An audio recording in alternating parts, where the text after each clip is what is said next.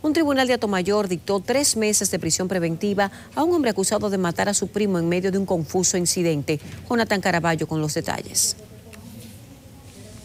En un video que circula por las redes sociales, se puede ver al hombre el cual está acusado de supuestamente en medio de una riña matar a un primo, comiendo botella. No pare la cámara. Grabando.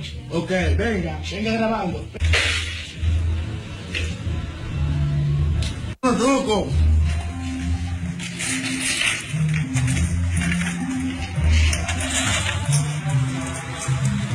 Según cuenta el padre de la víctima, el hecho ocurrió en el paraje Los Vázquez, mientras el supuesto agresor discutía con un hermano.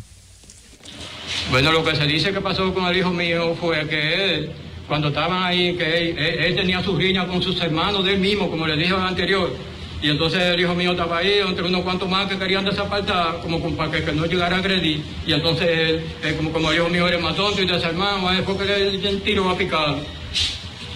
Y entonces hoy dice que no. Por este hecho, el juez de la instrucción del Departamento Judicial de Acto Mayor impuso tres meses como medida de coerción a Rafaelito Santana Calderón, alias Cacón, acusado de supuestamente matar a Melvin de Jesús Santana de un machetazo. Impuso lo que es medidas coercitivas, consistente en una prisión el altercado, donde este eh, recibió una herida en una de sus piernas al intervenir a desapartar a las personas, y es lo que está investigando el Ministerio Público.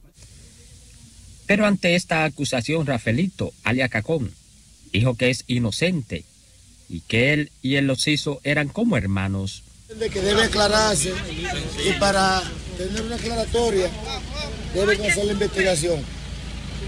¿Y entonces qué te entiendes que, que está hecho un día de hoy? Yo no entiendo que ellos hayan hecho nada malo porque, verdad... ¿Tú no eres culpable de este crimen? Yo no soy culpable. Desde Ato Mayor, Jonathan Caraballo, CDN.